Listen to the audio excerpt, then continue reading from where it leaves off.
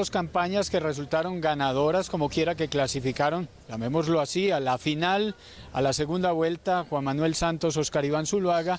Hay que decir que también hay dos campañas que si bien perdieron, están hoy como las más apetecidas y recurriendo a aquella famosa frase y socorrida frase de perder es ganar un poco, esos cuatro millones de votos que sacaron las dos mujeres participantes en la primera vuelta, Clara López Obregón y Marta Lucía Ramírez, hoy son motivo de reuniones en todas las campañas políticas en Bogotá.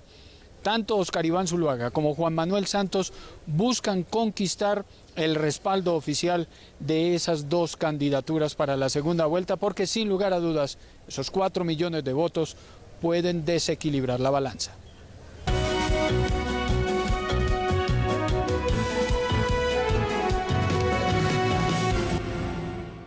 Los dirigentes antioqueños que respaldaron a Marta Lucía Ramírez consideran que la dote de dos millones de votos de su candidata debe endosarse al centro democrático. Nosotros tenemos proximidad con la campaña del doctor Oscar Iván.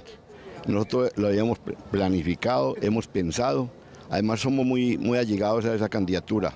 Muchos conservadores y muchos votos de opinión que votaron por la doctora Marta Lucía tienen una afinidad, una simpatía por la candidatura del doctor Oscar Iván.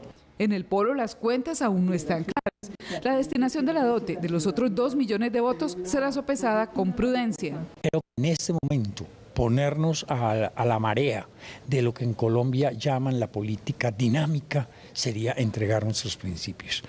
Tenemos que ser responsables con una opinión que hay en el país y yo creo que eso es lo que representan los partidos políticos. Por más allá que tengamos afiliados, eh, nuestros afiliados nunca llegarán en Colombia a ser dos millones de afiliados. Eso es imposible. Esos tres candidatos que han llamado pues como la posibilidad de alianzas con el señor Santos o con el señor Zuluaga, solo queda el polo mostrando una alternativa. Y eso es lo que nosotros somos, una alternativa política. Pocas veces dos mujeres colombianas han tenido un capital electoral tan atractivo para los dos varones que se disputarán la presidencia el 15 de junio.